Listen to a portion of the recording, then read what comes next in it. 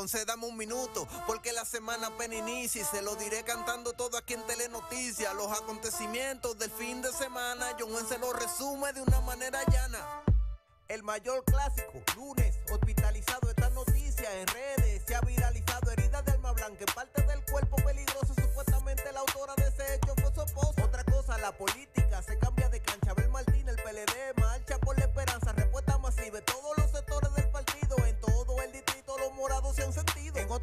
hablemos un poco de los deportes, Marilady Paulino, otro oro como porque un comentario de esta tomó protagonismo cuando dijo que atletas dominicanos son víctimas de racismo. Bueno.